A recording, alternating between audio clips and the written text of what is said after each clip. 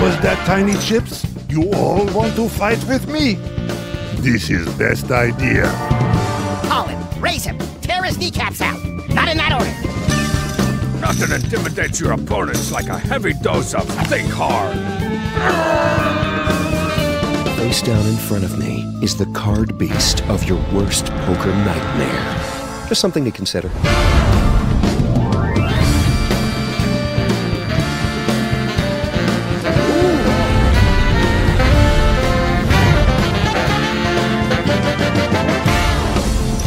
Beat me once, shame on me. Beat me twice, also shame on me. Beat me three times, I am sent to my death.